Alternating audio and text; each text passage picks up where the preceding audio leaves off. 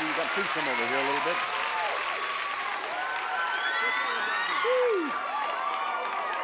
Nice, nice. Zach, how are you?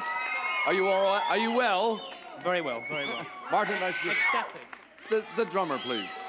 The name of this young man is Mr. Gardner Cole. He's a friend of ours. He's helping us out. And if Gardner- anyone I'm sorry. would like to applaud him, I think we should. Gardner Cole, ladies and gentlemen. Take a bow. Yes. All right, now, let me slide into the middle here. Why do you men, every time I see, well, it hasn't happened the last two times, but why do you take chances? Why do you change musically? Because we think it should be an adventure making music, not just Xeroxing your past albums, which a lot of people do. Aren't you the least bit frightened when you change direction? Life's a gamble. I think you should try and do different things.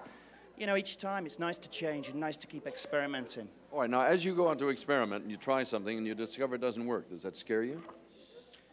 No, it's just a planned accident, really. What do you do then? Like the show. You throw it away when it doesn't You, work? you learn from your mistakes. I mean, everybody makes mistakes, but We've made a few mistakes in our time. Are you, are you already planning what the next stage will be of development?